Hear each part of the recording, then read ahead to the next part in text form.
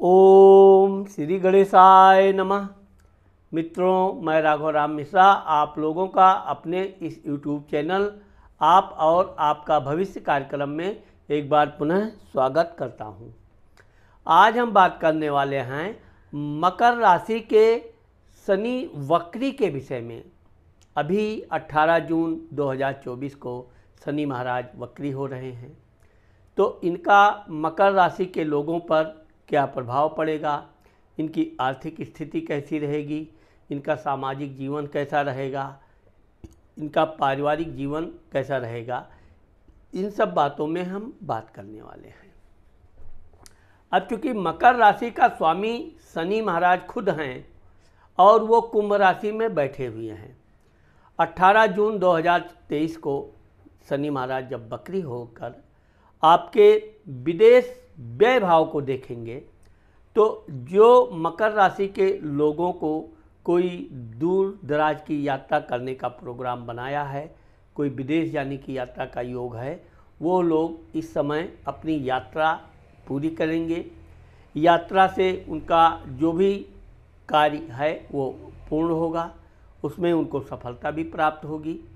साथ ही साथ अगर आप अन्य किसी भी क्षेत्र में कोई पढ़ाई लिखाई, कोई खोज कर रहे हैं तो इसमें भी आपको सफलता प्राप्त होने जा रहा है।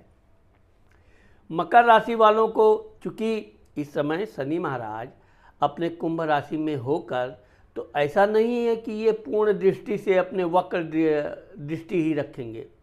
यह अपने एक प्रकार से राजा जो होता है तो वो जब भेष बदल कर रात्रि को अपनी प्रजा के सुख दुख की पता करने निकलता है तो वो दिन में भी राजकाज देखता है। ठीक इसी प्रकार शनि महाराज बकरी होकर अपने दृष्टि से उन उन घरों को पुनः देखेंगे कि वहाँ पर क्या हो रहा है, क्या नहीं हो रहा है। क्योंकि शनि महाराज न्याय के देवता हैं तो जो अगर किसी को बहुत कष्ट, तकलीफ़ हो रही है, किसके द्वारा हो रही है तो निश्चित तौर पे इस समय मकर राशि वालों के लिए न्याय होने का समय आ रहा है। इनका कार्य बनेगा। हाँ अगर ये शेयर सट्टा से संबंधित कार्य में हाथ अजमाना चाहते हैं तो थोड़ा सावधानी रखिए। और वाहन चलाते समय आप विशेषकर बिल्कुल सावधानी पूर्वक धीमी गति से ही वाहन चलावें। आपके संतान भाव आपको कोई बहुत बड़ी खुशखबरी दे सकते हैं। अगर मकर राशि वाले कोई परीक्षा इत्यादि देने की तैयारी कर रहे हैं, निश्चित तौर पे उनको इस समय सफलता मिलेगी। अगर आप पढ़ाई लिखाई के मामले में कोई खोज कर रहे हैं तो आपको इस समय पूरी सफलता मिलने का योग बना रहा है। हाँ ये देखा जाए कि इस समय आपके प्रेम संबंध में भी आपको सफलता प्राप्त होगा। अगर किसी की शादी विवाह से संबंधित मामला रुका हुआ है तो उसमें गति आएगी। अगर आपकी प्रेमी या प्रेमिका नाराज़ हो गई है तो आपका पुनर्दोस्ती होगी, आपका मन बड़ा प्रसन्न रहेगा। सबसे अच्छी बात यह है कि इस समय आपको अपनी वाणी पर नियंत्रण रखना चाहिए। किसी को कटु भाषा नहीं बोलनी चाहिए। और किसी की शिकायत चुगलखोरी तो आपको कदापि नहीं करनी चाहिए। इस समय आपके घर में कोई अच्छा धार्मिक समारोह होने का योग है, जिससे आपका मन बड़ा प्रसन्न रहेगा।